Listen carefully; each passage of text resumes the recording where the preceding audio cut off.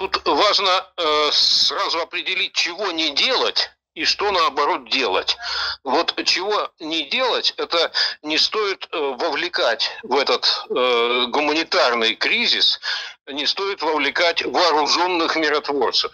У них совершенно другие задачи.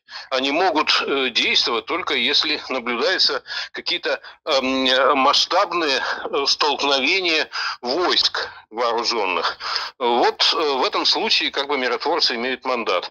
Вовлекать их в эту ситуацию – это только усугубить положение, поэтому апелляции к миротворцам бессмысленны.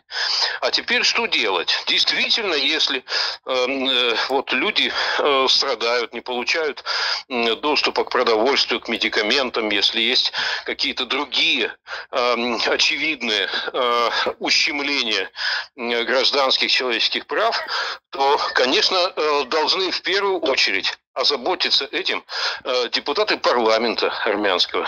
Вот э, они бы, конечно, могли обратиться и к своим коллегам, в первую очередь, в азербайджанском парламенте, и э, к парламентариям Европы. В Европарламенте должны, на мой взгляд, дневать и ночевать в Брюсселе.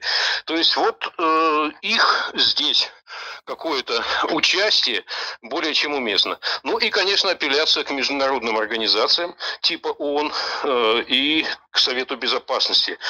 Вправе Армения это делать, представить туда э, свои аргументы, подтвержденные какими-то э, существенными материалами э, документальными, и настаивать на вмешательстве Совета Безопасности ООН. Правомерное обращение, и я думаю, что ООН может достаточно оперативно этот вопрос рассмотреть. Совет Безопасности ООН привлечение какого-то общественного внимания к э, острейшей гуманитарной проблеме, несомненно, единственный разумный способ поведения в этих обстоятельствах. Единственный разумный.